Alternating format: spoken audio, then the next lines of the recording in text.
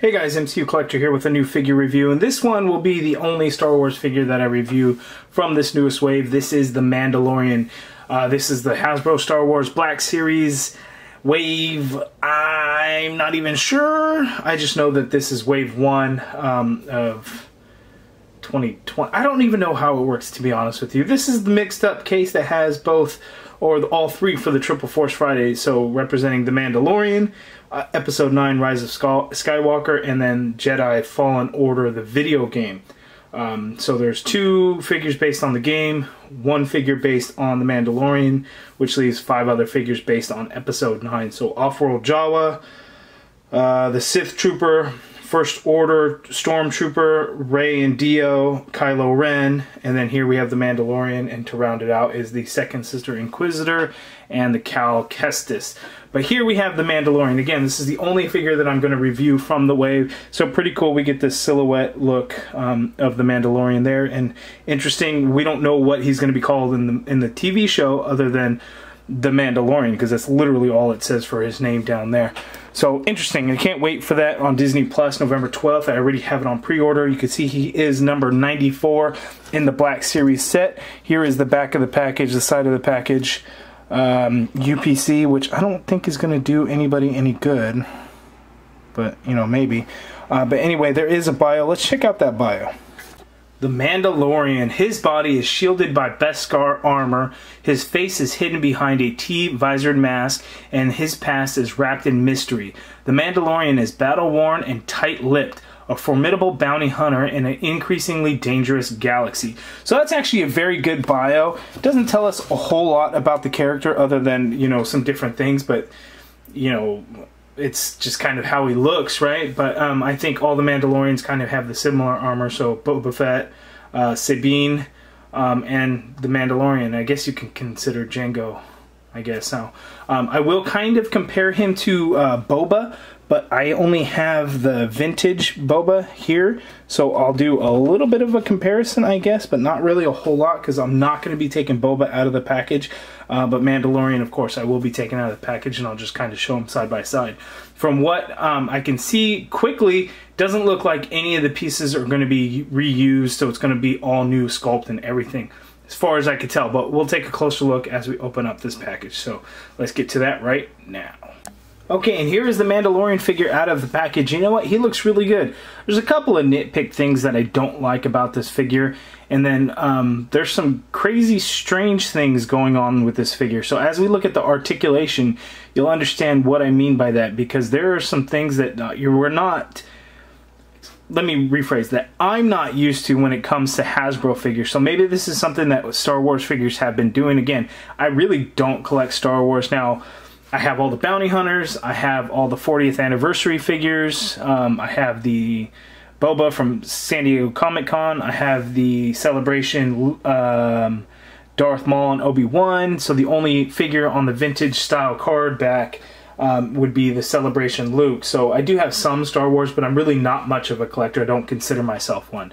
Um, so maybe it's new to me, but there's some interesting things going on. But um, he is a really cool figure. So let's take a closer look at him. Then we'll look at the two accessories that he comes with, um, and then we'll take a look at his articulation. Okay, so here is a closer look, um, zoomed in look at the Mandalorian. So this thing looks really awesome. I really like kind of the battle damage, the worn out look that he has on his helmet. We get a lot of little airbrushing uh, paint in there, some copper color to kind of show some rust signs throughout the helmet, so I really like the way that looks.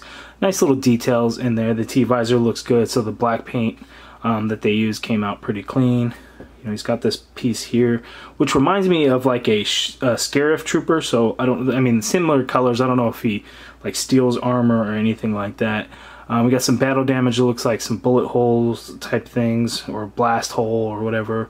We even get some on that shoulder piece there, so they added a little silver paint to show that blast effect. Some additional silver paint in there hitting, you know, the armor piece and kind of scuffing it up. We get that through there a lot on the shoulder here um, as well. And then little things like even on the gauntlet piece, we get a little bit right there on the end, so that's pretty cool. Back of that shoulder piece. Um, on this gauntlet we get a little bit here and there as well so it's kind of nice touches that they add um, through the figure to kind of show that battle that battle damage to him.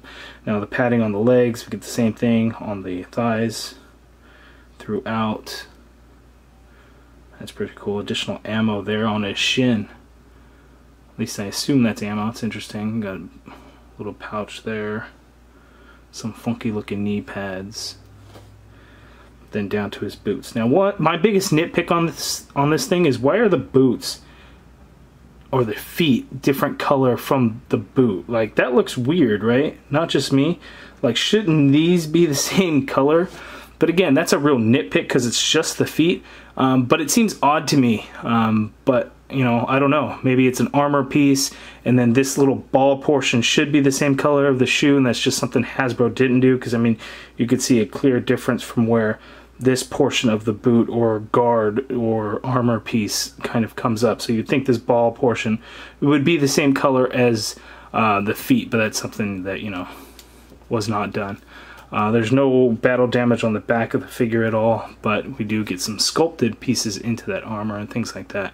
But not a whole lot of paint or anything going on back there.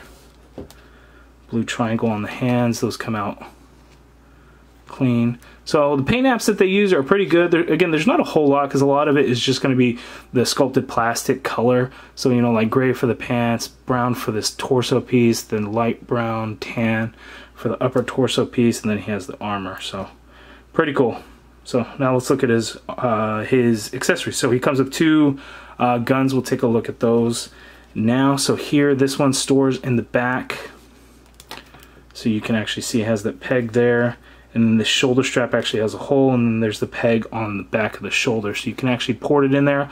Although it was a little bit tricky so it doesn't go straight. You have to make sure it's at the angle and then you really kind of had to force it in. I guess I kind of loosened it up because I got it in there no problem this time around but before it was a little bit trickier. So then so he can store it so that's cool. The other weapon holster is right here on his right hip and he does come with the working holster that you can kind of button and port right down in there and then the blaster just fits in nicely. So here's the blaster that he comes with. Uh, black handle and then just kind of a gunmetal color for the weapon itself. So it's at least it's not just like the dull plastic gray or anything like that. It actually does look really good. It is a different weapon from what Boba Fett comes with. I don't know about Jango or anything like that, but um, that's how it looks and I think it looks pretty good. Here he has this long rifle blaster thing. I'm sure we're going to get a name for it in the TV series. Um, as for now, I don't know what it's called. We just get this brown handle here. Then this portion of the gun is that same gunmetal color that the hand blaster is. And then the scope um, and barrel are done in a kind of a dark gray plastic. So it doesn't look like paint. It looks like maybe that's the color that the weapon was and everything else on here is paint. I could be wrong on that. And then this tip, whatever this is, I'm not sure is painted in a silver color. So there is his weapon. And the sculpting of it looks pretty good because something so small, you get some nice sculpted details kind of in there. So came out looking really good. Okay, let's look at his articulation now. Okay, so bear with me. These Star Wars figures are a little bit newer. Okay, so what the thing that I was talking about earlier that was kind of weird is, you know, the head motion. You get a lot of fluid motion um, in this head, and I was thinking, wow, that's pretty cool. I wonder how they did it, and that's because, and it's hard to tell because of the stupid cape thing that's here. Let me see if I can pop this helmet off. And it doesn't want to come off. I'm sure there's a way. I don't want to force it too much, but if you look up underneath here, that's actually like the ball joint of it. So that's where it's moving around inside of that neck. You can see it moving inside there. So that, I, as far as I know, that's something new that Hasbro's doing, and I can't, I can't pop that head off. So I don't know if it comes off or if I would really need to heat it up. It's hard to tell by the look of it in there, but that's where the neck is. So the neck itself is moving around, and then it also, I do get some swivel independent of that joint in there. So the swivel is in there, so the head must be able to come off. But you, that's where you get the you get the motion from. So there's no there's no hinge in there because I'm trying to get it to go down like a secondary motion, and there's not. So he can look up that high, he can look down that much, but again, you get that you know, fluid range of motion in there.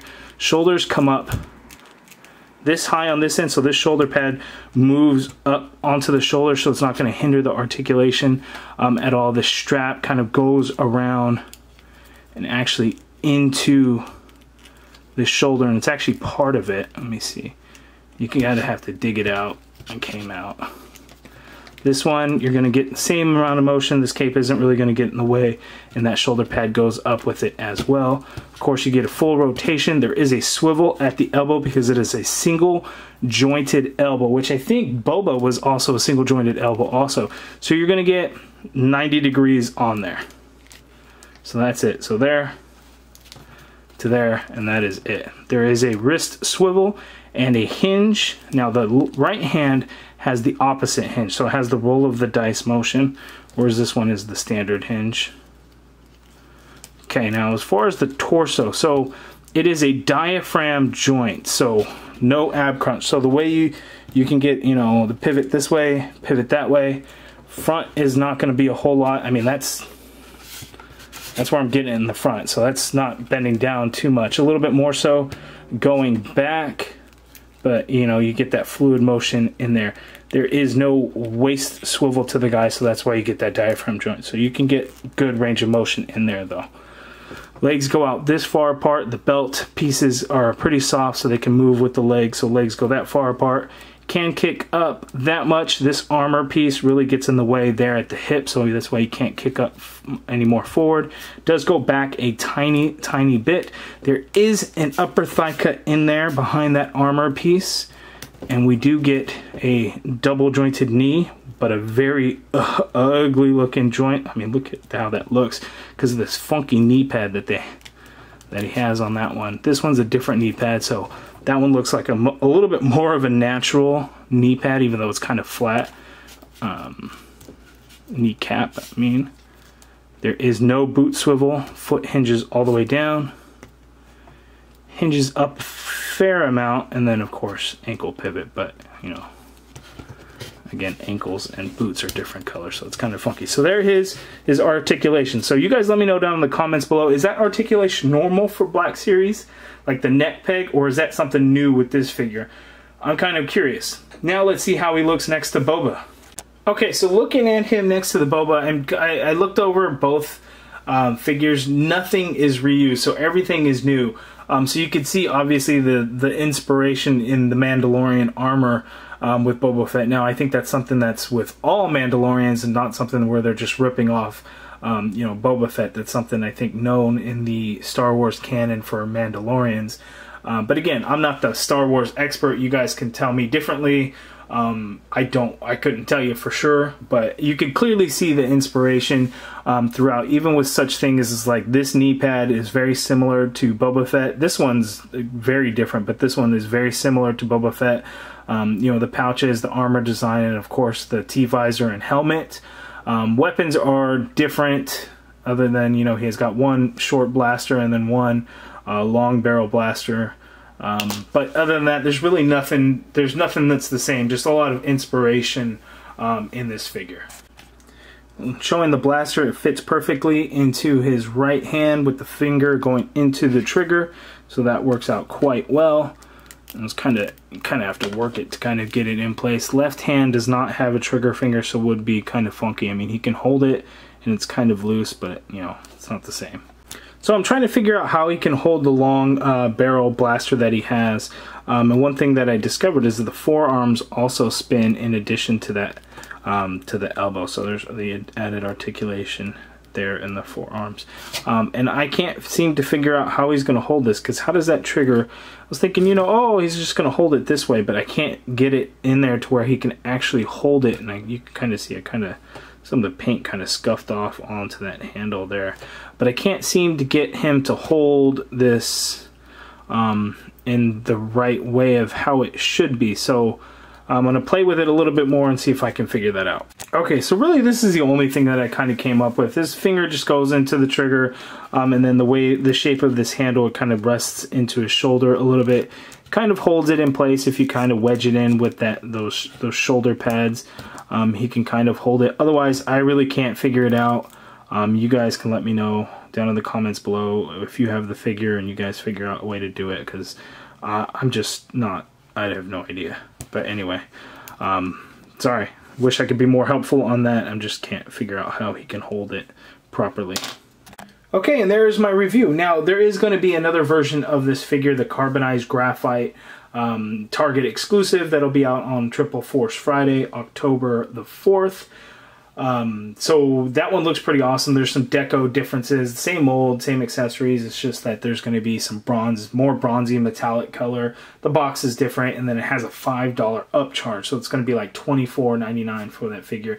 Does look really good, um, but I think this is going to be the hard to find figure on Triple Force Friday. This is probably the one that everybody's going to want because there's a lot of excitement surrounding the Mandalorian TV show on Disney Plus that will be debuting at launch of Disney Plus on November twelfth. So so um, you guys let me know down in the comments below. Are you excited for the show? Have you pre-ordered Disney Plus or are you going to even get Disney Plus? Um, I'm curious. Let me know down in the comments below. If you guys liked the video, please hit that thumbs up button. Subscribe if you haven't already already done so. And as always, thank you for watching.